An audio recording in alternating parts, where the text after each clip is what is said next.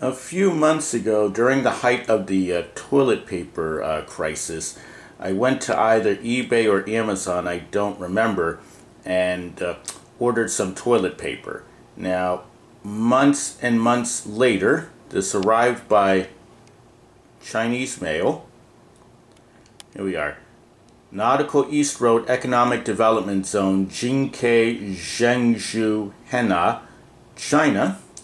And this is the rolls of toilet paper that arrived.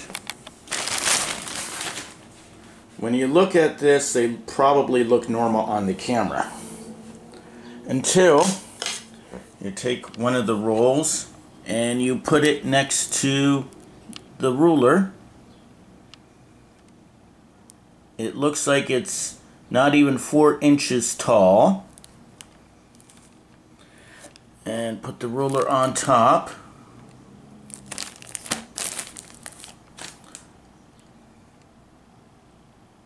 Two inches three quarters wide. And just to give you a standard of comparison here's an, a, a roll of American uh, toilet paper. Put it next to this American uh, toilet paper. I'd say about four and three quarters inch four and a half inches tall. And American toilet paper